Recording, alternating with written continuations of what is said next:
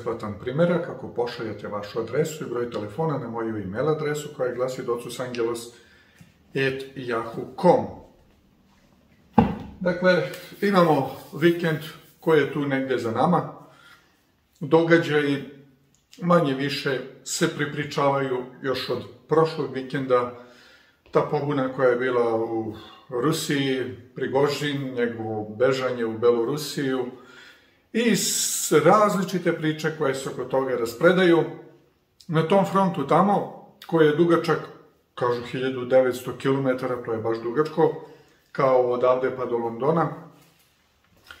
Ukrajinci nisu napravili nekakav značajan prodor tamo preko nekog mosta, Kerečki, valjda se tako zove, ili ne znam tačno, i su prešli i došli na teritoriju gde su, koju drže Rusi pod kontrolom, i tu su se bili utvrdili i onda su ovi bacili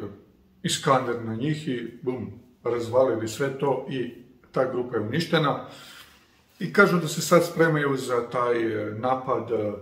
dovlače snage i da će imati desant na drugu stranu i tako dalje i tako dalje. Oni pokušavaju zapravo da opravdaju tolike pare i tolike tenkove i svu tu opremu koju su dobili od zapada, da nekako to i koliko vidim mobilišu devojke, mobilišu žene, sve što hoda po ulici hvataju i mobilišu, jer su muškarce pobili uglavnom i oni koji nisu poginuli su pobegli u inostranstvo, da ne bi poginuli za ludog Zelenskog, i za NATO i za, i za tu elitu zapadnu, jer stvarno nema nikakve svrhe da ginu, jer nije u pitanju Ukrajina, niti bi ona bila napadnuta, da oni nisu krenuli da igraju tango sa đavolom, ali su krenuli sa đavolom da igraju tango i dobili su đavola, dobili su ono što su tražili. Tako da je to zaista jedna totalno morbidna situacija. Ono što Zapad sebi ne može nikako da dozvoli, a to je da prizna poraz u Ukrajini, a on je neminovan, I kažu oni koji se razumeju u tu situaciju da je sve moguće i da ništa nije isključeno i ulazak NATO trupa i korišćenje nuklearnih tak, taktičkih bombi, jer Ukrajinci imaju i znanje, imaju i tehnologiju, imaju sve da naprave atomsku bombu i da neku bace tamo na teritoriju Donjecka ili već na teritoriju Rusije, pa da nastane terapana. I oni koji su izazvali sav taj sukob i koji su stotinu godina unazad izazivali sukobe, oni nemaju nikakvu empatiju. Jednostavno njime je sasvim svejedno koliko će Ukrajinaca, Ukrajinaca izginuti I ono što sada oni smatraju, ok, Ukrajince smo već nekako pročerdali, potrošili, ali imamo dovoljan broj Poljaka koji mogu da ginu za naše interese i za našu stvar, a takođe i Rumune. Tako da dve sledeće zemlje koje treba da budu uvučene u rat su Poljaci i Rumuni koji bi trebali da rade posao za zapadnu elitu, baš kao Ukrajinci, da oni ginu i da nekako se uradi posao za sile tame onako kako su oni to zamislili. I zaista situacija je tamo u Ukrajini krajnje morbidna, s druge strane taj zapad koji je potrošeni model u smislu zapadnog društva, njihove politike i njihovog sistema, to je potrošeno i proćerdano. Oni to još uvijek ne žele da prihvate, a nemaju nešto novo. Naravno, Zapad je izuzetno bogat i nisu oni osiromašili materijalno. Oni imaju ogromne bogatstva i nisu potrošeni materijalno, nego su potrošeni kao sistem, kao model su potrošeni i to više ne pije vodu, čak ni tamo na zapadu. U Francuskoj vidimo da su nemiri još uvek veliki zbog ubistva tog mladića, 17-godišnjaka od strane policajca, jer on je teo da stane, kad je on rekao stani, on ga je upucao ko zeca, ne znam kakav je prekršen napravio i verovatno je e, prekršio sujetu tog pandura tamo. I narod je ustao i zapalili su gomilu policijskih automobila, sve što su mogli da zapale, zapalili su. Oni su dodatno poslali 40.000 pandura na, te, na taj goloruki narod tamo, pa su ga još više razbesnili, pa je situacija krajnje, krajnje katastrofalna, tako da je njihov predsednik koji je napuderisani mora da se vrati u Francusku sa toga NATO skupa, da, a onda Rusi kažu evo mi ćemo ponuditi rešenje da rešite tu krizu, pošto vi to niste u stanju da rešite vašu krizu koju imate, mada u Francuskoj već dugo krize, jer postoje getoji u Francuskoj gde prosto naprosto nijedan pandur ne sme da uđe ni da priviri ne sme ni vojska da dođe tamo, jer su tamo talibani se naselili i nema prilaza, to su, to su Kosovo republike tamo, dakle u Francuskoj ne jedna ima i desetine prostora koji su zauzeli muslimani i tu nema nikakavog pristupa francuskim vlastima, niti bilo koga. Jednostavno dešavaju se neke vrlo, vrlo nemile stvari i naravno ne ide baš sve onako kako je zaplanirano, onako kako su hteli. Postoje velike poteškoće, postoje mnoštvo, postoji mnoštvo problema sa kojima se sve trenutno suočava i ovo jeste jedna velika tranzicija. Međutim, narod, običan narod u Francuskoj, bilo da su muslimani, bilo da su hrišćani, a, oni svakako trpe i jedni i drugi poteškoće. Tu postoji sad to veliko nepoverenje jednih u odnosu na druge, što je, što je i normalno u nekoj situaciji. Vidimo da su tamo u, u nekoj od zemalja uzeli pa zapalili kuran, što nije smelo nikako da se desi javno, I onda je Stoltenberg još to podržao, pa je naljutio dodatno Turke, koji su svakako muslimanska zemlja, koji su deo NATO saveza i tu se sada opet kuvaju unutar tog NATO saveza sve je nekako trulo i sve je nekako blago rečeno u fazi raspadanja, jer e, to nije tako kako izgleda. Amerikanci koriste šta mogu tu za sebe da izvuku, jer njih sve što zanima to je novac. Znači, koliko god mogu više da ga izvuku bilo gde i onda, i onda kako bude, bude, nije važno šta će biti s tim prostorom, bitno je da se to opljačka. I cela ta zapadna elita je zapravo, zapravo navikla da živi na parazitizmu i da prosto naprosto parazitiraju na nesreće drugih i pljačkanju drugih. Ali Božja reč upozorava na ova čudna vremena, na ova komplikovana i teška vremena. I e, ono što je bitno da razumemo, a to je da nas ona upozorava na ovakvo istorijsko vreme i u 33. poglavlju knjige proroka Ezekija, koji je živeo u babilonskom izgnanstvu i koji je govorio o propasti Jerusalima, jer je Sedekije još uvijek bio tamo a, vladar i od 9. godine njegove vladavine do 12. je bila opsada Jerusalima i Jerusalim je konačno pao. I kaže, e, ovde prorok Jezekijel kaže, i opet mi dođe riječ e, gospodnja govoreći, sine čoveči, govori sinovima naroda svojega i kažem, kada pustim na koju zemlju mač, ako narod one zemlje uzme koga između sebe i postavi ga sebi za stražara. Bog je dao njegovu riječ, da možemo da stražimo i pazimo nad onim što se dešava, kaže on, videvši mač gde ide na zemlju, to je svojsku koja dolazi, zatrubi u trubu ili u šofar i opomene narod, jer onaj ko čuva stražu, on treba da upozori narod na opasnost, na vojni pohod koji dolazi na taj narod, na tu državu. Ako se ko čuvši trubu ne uzme na um i mač došavši pogubi ga, krv će njegova biti na njegovu glavu. Dakle, onaj ko je čuo i ništa čuje, ali neha je, baš ih briga, neće to mene, kaže, krv će njegova bitan, biti na njegovoj glavi, jer čuo je glas trubni i nije se uzeo na um, krv će njegov biti na njemu da se uze na um, sačuvao bi život svoj. Dakle, da je, da je došao sebi, da, je, da, da su se organizovali država tako je napadnuta, oni bi se nekako odbranili. Ako li stražar videvši mač gde ide, ne zatrubi u trubu i narod ne bude opomenut, a mač došavši pogubi koga između njih, taj će poginuti za svoje bezakonje, ali ću krv njegovu iskati iz ruku stražareve. A tebi, sine čoveči, tebe postavi stražarem domu Izraelovu, slušaj, dakle, reči iz mojih usta i opominji ih od mene. Oni koji, e, kojima je Bog poverio njegovu svetu riječ, sveto pismo, oni su zapravo stražari nad ovim svetom. I oni su zaduženi da upozoravaju svet na ono što dolazi. Česta primetba meni lično jeste zašto stalno govoriš o Hristovom drugom dolazku, što ne govoriš o nečem drugog, drugom. Pa govorim i o nečem drugom, ali to je najvažnija tema. To je tema stražara i sam Hristos u Evanđelju po Mateju e, na više mesta u 24. i u 25. poglavlju, bolje rečeno u više stihova, naglašava tu obaveznost stražarenja da se pazi na vreme, na znake, na događaje koji, koji se dešavaju i koji su bitni e, za život ovozemaljski, a naravno još bitniji za onaj život koji je, koji je nebeski, koji tek treba da dođe. I tu kaže u Evanđelju po Mateju 24. poglavlja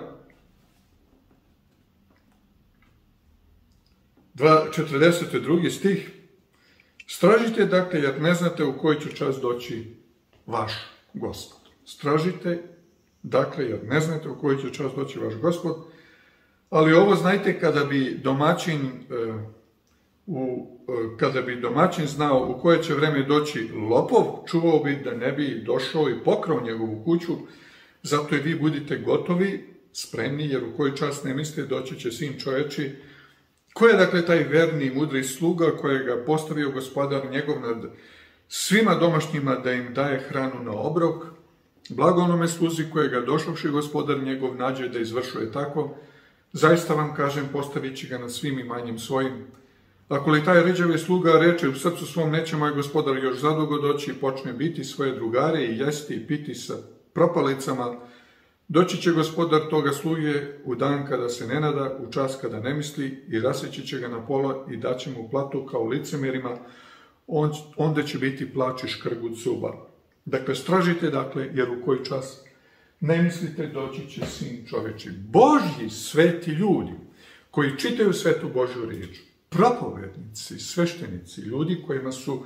poverene tajne Božje u smislu tajne Božje, nije tajna sve to otkriveno što pišu u Svetom pismu, ali e, ljudi koji su uključeni u propovedanje reči Božje, pored propovedanja o planu spasenja, treba da upozore svet na ono što dolazi. Svakako događaj koji se sada dešavaju neminovno svedoče o tome da dolazi jedno izuzetno složeno, komplikovano, ne mogu da kažem veliko vreme, jer nema veliko i malo vreme, ali vreme sa izuzetno sabijenim događajima kada će promene, promene biti veoma velike i kada će te promene pretiti da ljudi ovoga sveta budu uhvaćeni u zamku sotoninih prevara i obmana i laži, da bi bili uništeni za večnost zajedno sa njim u vreme kada, kada će to izvršenje kazne Bože doći nad Satanom i nad ovim svetom. I stražari koji je Bog postavio su dužni da ljudima govore o znacima Hristovoga dolaska, o događajima koji će prethoditi Hristovom dolasku, o onome što će protrestri ovaj svet do te mere da će sve biti poremećeno i da će se sve naći u velikom haosu. I zato kaže, ako stražar bude postavljen i vidi mač koji dolazi na zemlju i onda zatrubi u šofar, to je zduva u šofar i upozori narod i narod se uzme u pamet i organizuje da se brani, onda će sačuvati dušu svoju. Ako narod ne bude čuo taj šofar, to jest ne bude slušao i baš ga briga šta šofar kaže, to je stražar koji upozorava, onda će oni poginuti za svoje bezakonje i krv će biti na njihovu glavu. A ako pak stražar vidi događaje da se dešavaju, a ništa ne preduzme i ne trubi u trub, ovi će poginuti, ali krv će se iskati iz njegovih ruku. Tako da oni koji su, i onda kaže, sine čoveči, tebe sam postavio da budeš stražar domu Izraelu. Dom Izraelov je Boži narod toga vremena. Bog ima svoje stražare koje je postavio nad ovim svetom, koji trebaju budno da bdiju nad ljudima, narodima, plemenima i jezicima, i koji trebaju da upozore ovaj svet na ono što se dešava i ono što će doći. I zato imamo čak i četiri anđelske poruke, o kojima sam ja već više puta govorio, to je 14. poglavlje, imamo tri anđelske vesti, anđeli su takođe službeni Boži duhovi, stražari koji straže nad ovim svetom, i koji su pozvani da upozore svet na opasnost koja dolazi i na ono što se sprema u horizontali, u toj ljudskoj ravni i u vertikali, tamo gde je večni Bog. Dakle, oni su zaduženi da upozore svet na ono što dolazi nešto veliko. Kaže, vidi drugog anđela gde leti posred neba koji imaše večno evanđelje da objavi onima koji žive na zemlji, svakom plemenu, jeziku, kolenu i narodu, večno evanđelje, to je prva anđelska vest, i govoreše velikim glasom, bojte se Boga i podajte mu slavu jer dođe čas suda njegova. Poštovanje prema Bogu i spremnost za njegov dolazak, jer je došao čas njegovog suda, je deo evanđelske vesti. Bojte se Boga, podajte mu slavu, jer dođe čas suda njegova i poklonite se onome koje je stvorio nebo, zemlju, more, izvore vodene. Ljudi su dužni da se poklone Bogu. Zašto? Zato što ulazimo u istorijsku, istorijsku distancu, istorijsko vreme kada će se tražiti od ljudi da se poklone zveri ikoni njezinoj. I vidimo da recimo u Hrvatskoj su od, od, od juče, danas je drugi e, jul, uveli e, zakon da tržni centri to sve više ne može da radi na nedelju i to oni nazivaju zeleni šabat. Šabat je subota, nije nedelja i subotom ne bi trebalo da radi ništa, a nedeljom možda radi bilo šta. Međutim, đavo je okrenuo na njegov dan, dan sunca, da se ne može raditi ništa. I drugi anđel za njim ide govoreći, pade, pade Babilon veliki, jer otroni vinom bludstva svega napoji sve narode. I to je ono što gledamo danas, taj otrovna nauka Babilona se danas širi celim svetom i a, ceo taj sistem novog svetskog poredka i sve to je zapravo to. I, i kaže, i treći anđel za njim ide govoreći, e, glasom velikijem, ko se god pokloni zveri ikoni njezino i primi žig na čelo ili na ruku svoju, on će piti iz čaše vina gneva Božjega koja je nepomešano utočena u čašu gneva njegova i bit će mučen ognjem i sumporom pred anđelima svetima i pred jagnjetom. I dim muče njihova izlazit će va vek veka i neće imati mira dan i noć koji se poklanjaju zveri ikoni njezinoj i prime žig na žig imena njegova. Ovde je trpljenje sveti koji drže zapovesti Božje i imaju veru Hristovu. Dakle, Bog je postavio stražare i možda taj četvrti anđeo, kaže, i posle ovoga vidi drugog anđela koji silaze s neba, kaže, i onda koji imaše oblast veliku i zemlje se od slave njegove i povika jakim glasom govoreći pade, pade Vavilon, veliki posta stan demonima i stan svakom duhu nečistome i sviju ptica nečistih i mrskih, jer otrovni vino blustva svojega napoji sve narode. Dakle, četiri poruke koje su zapisane u Svetoj Božoj reči i to su poruke koje stražari nebeski šalju ovome svetu, prva anđelska, druga anđelska, treća anđelska vest, četvrta anđelska vest, možemo reći, e, nije tako naznačeno, ali to je 18. poglavlje, prvi drugi stih, gde se govori o padu Babilona, pojačana druga anđelska vest iz 14. glave, i Bog kaže proroku Jezekiju da ga je postavio da bude da bude stražar za dom Izraelov, za narod Božji, da ga upozori na ono što će doći, ono što se sprema. Na kraju istorije spasenja Bog ima svoje sluge, propovednike, evanđeliste, ljude koji, koji su zaduženi da, od Boga da čitaju riječ Božju i da je prenose narodu i da narodu pozore na to jest da propovedaju evanđelje, to je ono prvo i najvažnije, dakle, spasenje u Hristu, a druga je vrlo važna stvar jeste da upozore svet na ono što dolazi, na drugi slavni Hristov dolazak, da ljudi budu spremni za to, a takođe da svet bude upozoren na sile tame koje će raditi, to jest koje će zahtevati da se poklone zveri ikoni njezinoj, a ne Bogu koji je stvorio nebo i zemlju, zatim e, taj Babilon, taj moderni svet koji će propasti u jedan čas, e, koji, koji stvara taj novi svet, drugačiji poredak od onoga što do sad smo uopšte znali, to je poredak koji će biti zasnovan na nekom sistemu super kontrole i super ropstva, e, koje će izgledati kao sloboda, a to zapravo nije, i super pobune protiv Boga, u svakom smislu mogućem, dakle, kada govorimo o toj pobuni, kao što je bilo gore na nebu, da se to ovde ostvari u potpunosti. I naravno, žig zveri, ime zveri, broj zveri, kao se god tome bude poklonio i primio, on će piti iz čaše vina gneva Božjega. Dakle, to je poruka Božja i onda taj Babilon koji pada i poruka Babilonu e, zbog te e, prljave nauke koje je svet poučen, e, je postao ne samo prljav u nauci, nego je postao demonizovan totalno stanište svih nečistih duhova i demonskih duhova koji su tu prisutni u ljudima i koji će ih držati pod svojom kontrolom. I taj proces je sada zapravo u toku, on se odigrava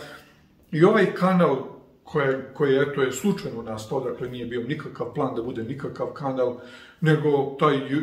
svi imamo koji imamo YouTube,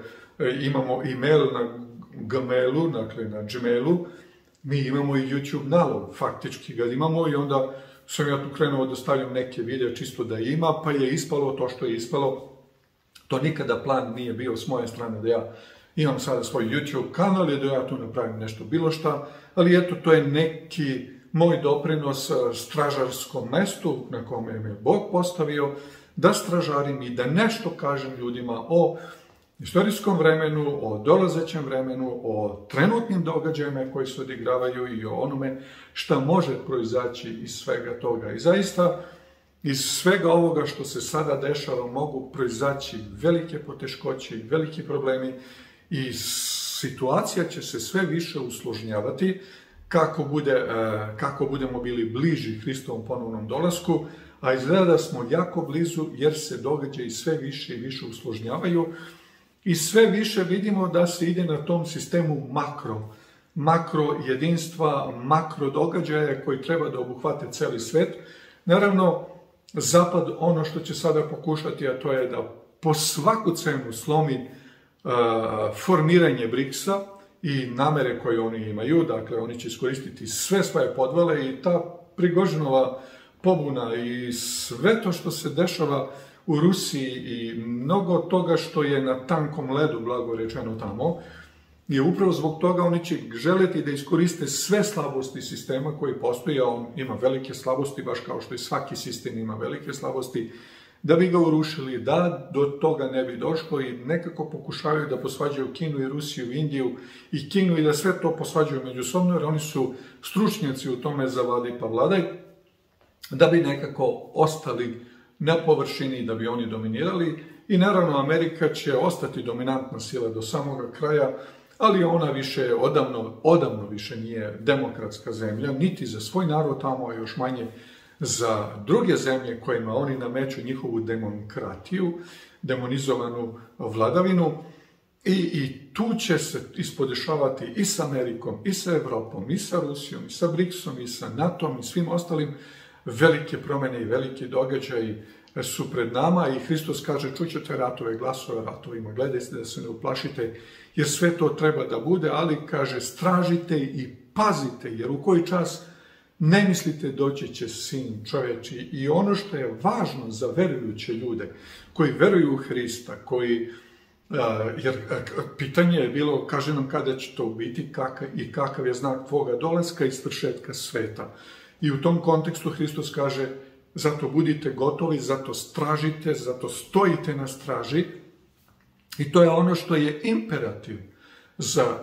one koji sebe smatraju učenicima Hristovim, da budu spremni, da straže i da budno prate šta se dešava u svetu oko njih. Naravno, nije lako biti na straži i nije lako stajati i pratiti sve šta se dešava unaokolo. To je vrlo težak posao i ko nije uh, stražario, ko nije bio stražar, on i ne zna o čemu se tu radi, ali ko je prošao vojnu obuku i ko je služio vojsku, kao što ja jesam i gotovo svi iz tih generacija do 2000. godine su na neki, na ovaj ili onaj način služili vojsku. Posle toga je došla kao profi vojska koja je vrlo slavo plaćena i ovdje razvaljena skroz, ali to je sad druga priča. Ostali mladi to ne znaju šta znači stražariti. To je i danju stražariš i noću i kad je kiša i kad je grad i kad je sunce i kada je i kada je nevreme i kada je rat i kada nije rat i kada je opasno i kada nije opasno, ti moraš da budeš tu i da, da, da čuvaš to što ti je povereno, da brineš o tome. Tako da verujući ljudi koji znaju svetu Božju riječ su pozvani da budno prate šta se dešava i da pozivaju narod na budnost i da pozivaju narod na spremnost za ono što dolazi, da nas taj dan Hristovog dolaska ne bi zatekao iznenada. Zato je vrlo važno da dok čitamo svetu Božju riječ, dok je proučavamo, dok razmišljamo o Hristu, o njegovom dolasku, dok evanđelje postaje sastavni deo našeg života, da budemo budni stražari i da budno pratimo sve što se dešava